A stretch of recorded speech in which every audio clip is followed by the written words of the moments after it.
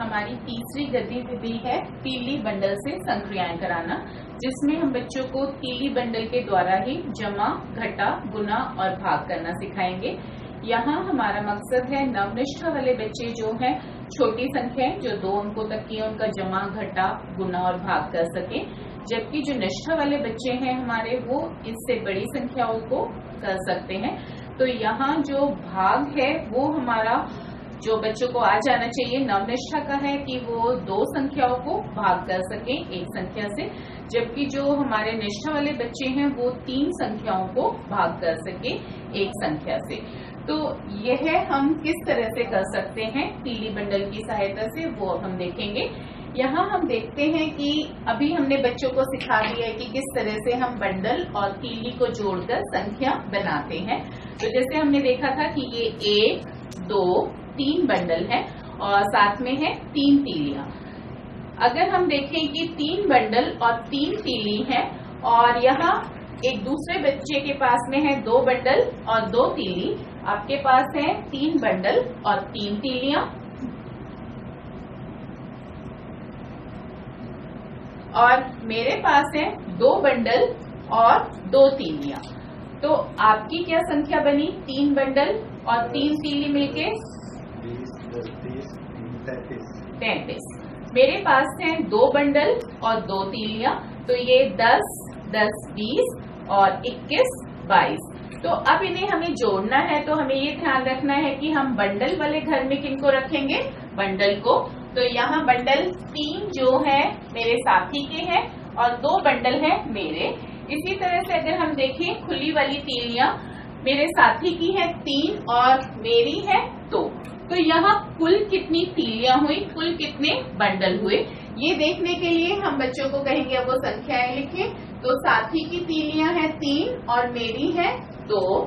साथी के पास बंडल थे तीन और मेरे पास बंडल थे दो। जब हम ये यहाँ लिख लेते हैं, इसके बाद हम कहेंगे बच्चों को कि अब तीलियों के साथ तीलियों को और बंडल के साथ बंडल को जोड़ें। बच्चे पहले तीली और बंडल की सहायता से ही उन्हें जोड़ेंगे। जैसे इसमें हम देखते हैं कि बच्चा जो है पहले गिनेगा तीन तीली जो साथी की है और दो तीली, ये मिलके कुल कितनी बनी? एक, दो, तीन, चार, पाँच। तो बच्चा जो है यहाँ पे लिखे पाँच और वो पाँच उसने किस तरह से तीलियों को ही गिन के निकाला। इसी तरह से अब वो बंडल को गिनेगा। बंडल है एक, दो, तीन, जो उसके साथी के हैं और दो उस बच्चे के तो कुल बंडल हो गए पाँच। इस तरह से हमें बच्चों को ये बताना है कि बंडल को बंडल के साथ जोड़ना है और तीली को तीली के साथ जोड़ना है। इस तरह से ये हमारा जोड़ हुआ।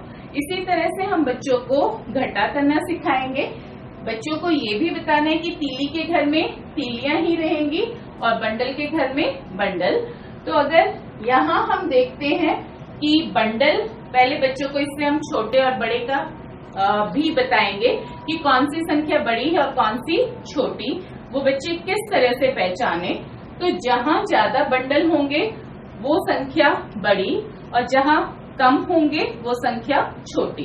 तो इससे बच्चों को ये एहसास हो जाएगा छोटी संख्या कौन सी और बड़ी संख्या कौन सी है, जिससे बच्चे जो है, बड़ी संख्या को ऊपर और छोटी को नीचे लिख पाएँगे। तो अगर उन्हें हमें घटा करना सिखाना है तो घटा में हम देखेंगे।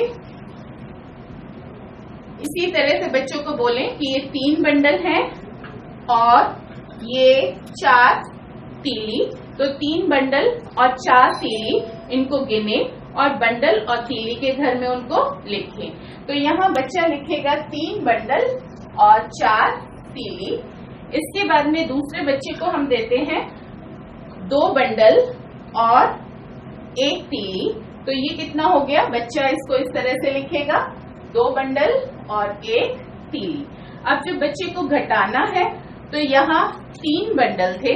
अगर तीन बंडल में से दो बंडल ले लिए गए, अब ये दो बंडल अगर ले लिए तो बच्चे के पास में कितने बंडल बचे? एक बंडल। इस तरह से बच्चा जो है, बंडल को बंडल के साथ में और तीली को तीली के साथ में घटा के लिखे। तीली भी इसी तरह से हम कर सकते हैं। पहले हम तीलियों का कराएँगे और उसके बाद बंडल का। अगर ये एक बच्चे के पास में चार तीली है, इसमें से दूसरे बच्चे को वो एक दे देता है तो कितनी तीली बच गई? तीन तीली हम नवदृष्टा बच्चों को गुना भी इसी प्रकार से करा सकते हैं। जैसे हमने देखा, बच्चों को अब हमने स्ट्रॉ गिन के बता दिया कि किस तरह से बच्चे जो है स्ट्रॉ की सहायता से गिनती कर सकते हैं, जमा और खटा कर सकते हैं। तो गुना के लिए हम बच्चों को जो है स्ट्रॉ दें और उन्हें बोलें कि आप इतनी संख्याओं का समूह बना लो, जिसकी हमें पहाड़ा कराना हो।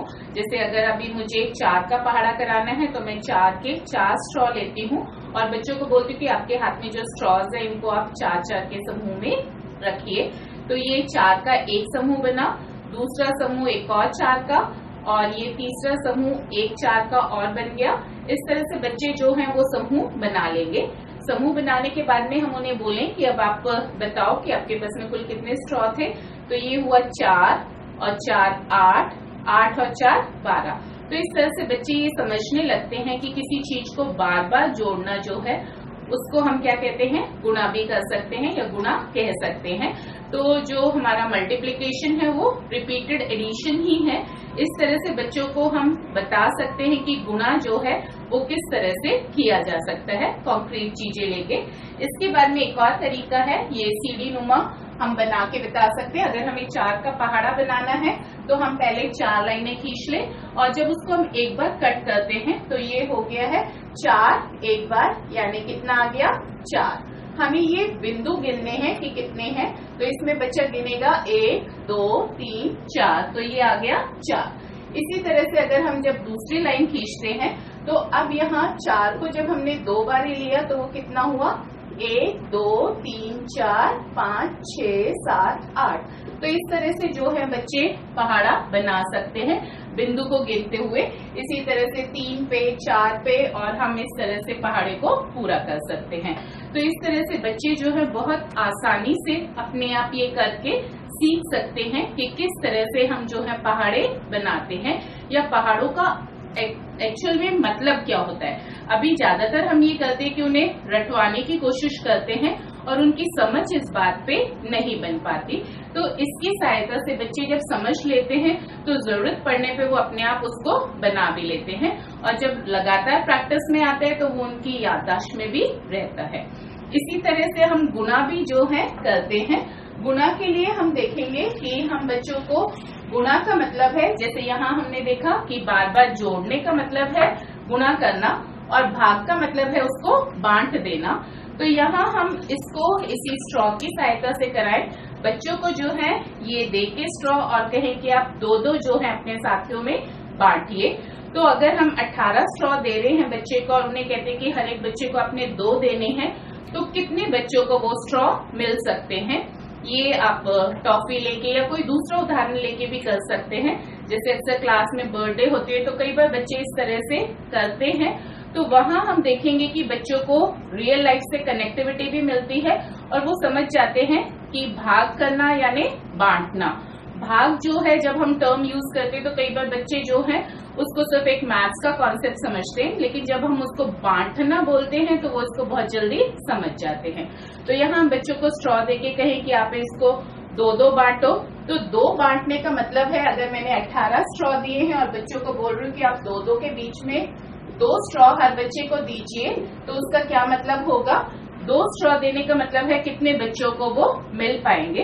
तो यहाँ उसने एक बच्चे को दिए दो, दूसरे बच्चे को दिए तो ये हो गया दो और कम हो गए उसके पास में। एक, दो, तीन, चार, पाँच छ इस तरह से करते हुए जब बच्चा पहुँचता है तो वो देखते हैं कि वो कितनों में? नौ बच्चों में बट गए हैं। इस तरह से हम बच्चों को बता सकते हैं कि अगर 18 स्ट्रॉ थे हमारे पास, और हर बच्चे को हमने दो स्ट्रॉ दिए तो कितने बच्चों में बटे हैं? नौ बच्चों में। तो इसी को ही हम बाद में जब ये करा लें, बांटने की एक्टिविटी तो हम बता सकते हैं बच्चों को कि बांटना यानी भाग करना। तो अगर हम इस तरह से भाग करते हैं तो 18 को हमने दो दो सबको दिए तो वो नौ बच्चों के बीच में बट गए। तो इस तरह से बहुत ही आसानी से उनकी रेगुलर लाइफ में इस चीज़ को करते हुए वो गुणा, भाग, जमा और घटा का कॉन्सेप्ट समझ सकते हैं।